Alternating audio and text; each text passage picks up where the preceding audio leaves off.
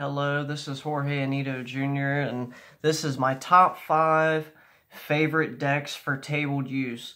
Um, whether it be card games, uh, close-up magic, which more than likely is going to have some kind of close-up pad. Um, any, any, any way in which you could use the cards from a table position. These are my top five decks. Top five favorite decks for tabled use.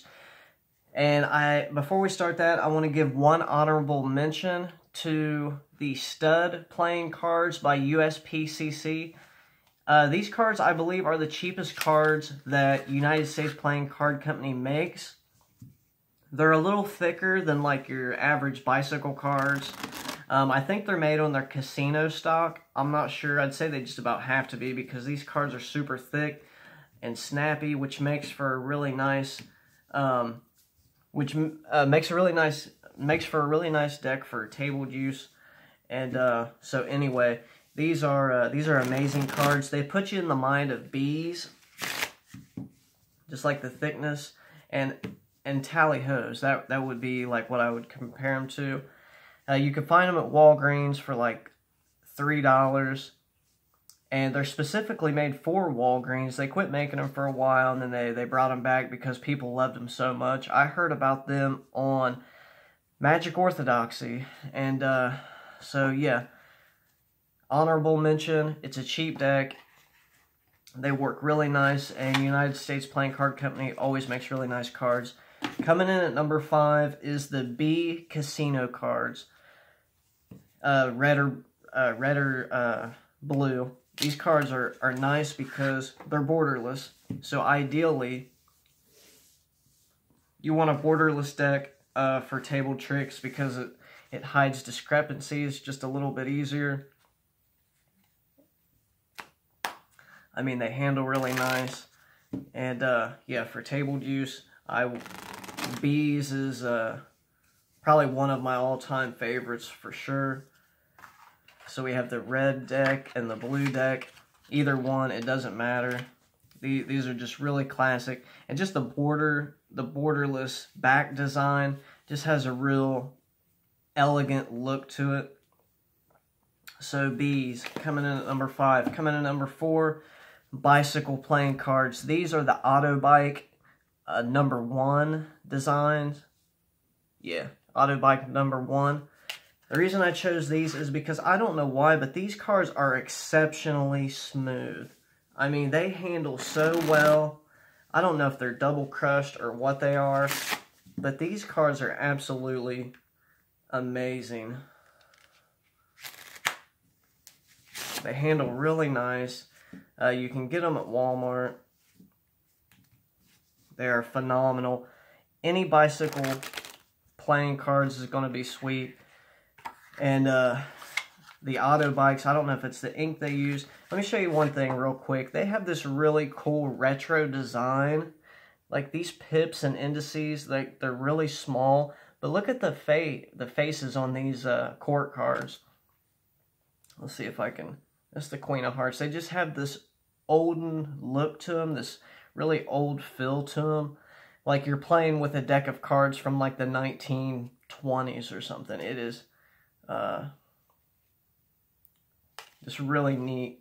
But I don't know, like I said, if it's the type of ink they use or what, but these cards, for whatever reason, they just handle really nice in the hands, but even more so uh, for tabled use. Coming in at number three is another deck of bees. These are the 1902 Club Special Erdnase. Uh, Dan and Dave, I believe, had a hand in making these. These are the acorn backs. They have the green ones, um, but I've heard a lot of reviews that say the blue ones actually handle better, uh, handle a little bit better. Uh, I'm not sure why, uh, but anyway, these, and I think I heard Assad on 52Kards say this, and it really piqued my interest, so I went ahead and got a deck. But um, he was talking about the back design, how it's like a mixture between borderless and border. You could see that they kind of have a border, but yet they look like they're borderless.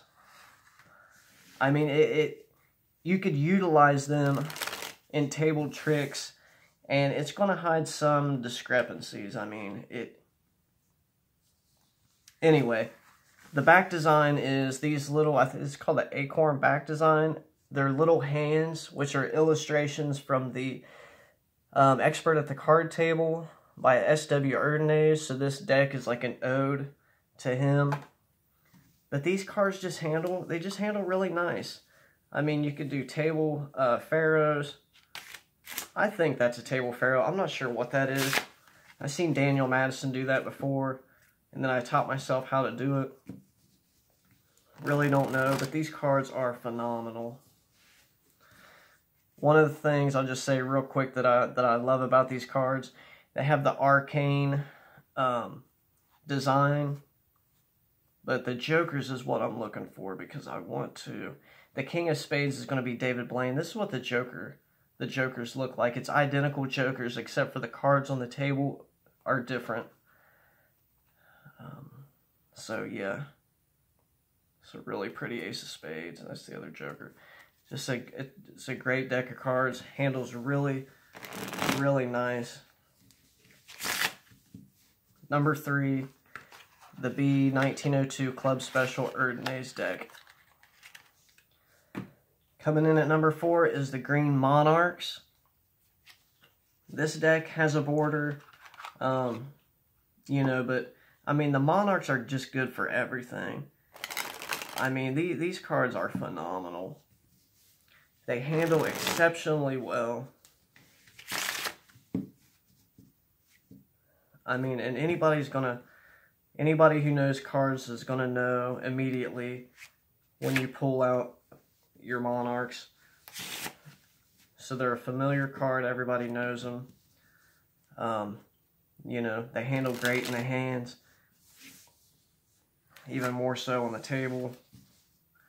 They just have that elegance to them. Just a just a one of my go-to decks uh, for tabled stuff, for tabled use. Coming in at number one, the Madison Dealers by Ellusionist.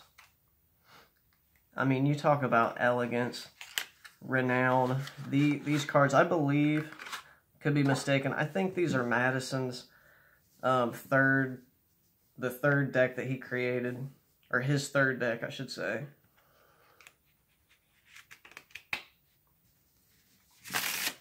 They handle really great. They're they're marked. I mean, look at that. That that's beautiful. I mean, this is just a solid deck of cards. But yeah, they, they are marked.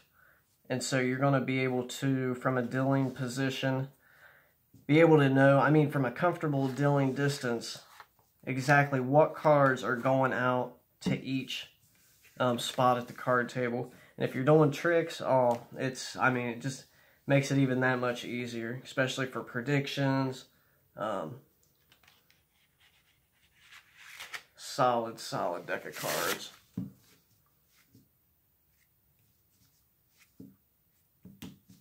So the Madison Dealers coming in at number one. Uh, thanks for tuning in. Thanks for checking it out. These are my top five favorite decks for table juice. I'm sure there's going to be a lot of, uh, you know, people that disagree, but those, those are just mine. I'm sure they'll change. But I just want to thank you for tuning in, and uh, see you next time.